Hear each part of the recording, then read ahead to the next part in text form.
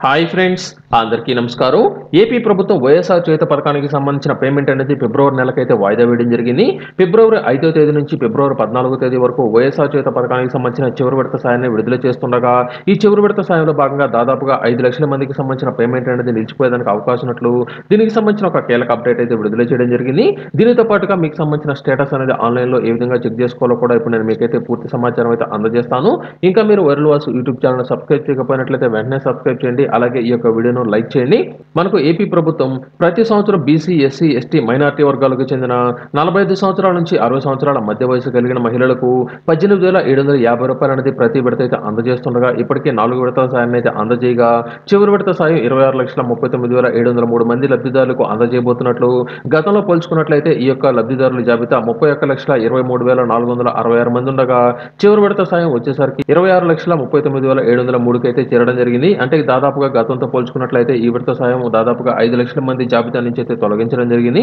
అలాగే మనకు జనవరి ఒకటో తేదీ నుంచి కొత్త రేషన్ కార్డులు రావడంతో పాటు పాత రేషన్ కార్డులు ఏరువేయడంలో కూడా కొత్త కీలక పాత్ర ఉంటుంది కాబట్టి జనవరి ఒకటో తేదీ తర్వాత కూడా ఎవరికైతే ఈ యొక్క ఎలిజిబిలిటీ లిస్ట్లో పేర్లు అనేది ఉన్నాయో వారికి కూడా పేర్లు అనేది తొలగించడానికి అవకాశం అనేది తక్కువగా ఉంటుంది.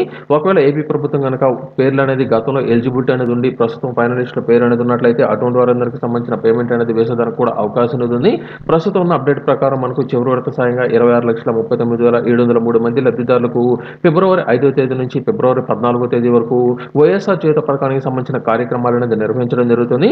ఈ మధ్యలో ఎప్పుడైనా సరే ముఖ్యమంత్రి జగన్మోహన్ రెడ్డి గారి చేతుల మీదుగా ఈ యొక్క పథకానికి సంబంధించిన పేమెంట్ అనేది మనకు పదో తేదీ తర్వాత వేసేదానికి అవకాశం అనేది ఉంటుంది. ఎందుకంటే మనకు ఫిబ్రవరి పదిహేనో తేదీ తర్వాత దీనికి సంబంధించిన ఎన్నికల షెడ్యూల్ అనేది ఉంటుంది కాబట్టి దీనికి సంబంధించిన చివరి పేమెంట్ అనేది మహిళలకు వేస్తారు కాబట్టి అది కూడా ఎక్కువ మొత్తంలో ఈ యొక్క మహిళల ద్వారా ఓటింగ్ అనేది వస్తుందనే ఉద్దేశంతో ఈ యొక్క పథకానికి సంబంధించి ఇన్ని విడతల పోస్ట్ పోన్ అనేది అయితే చేయడం జరిగింది.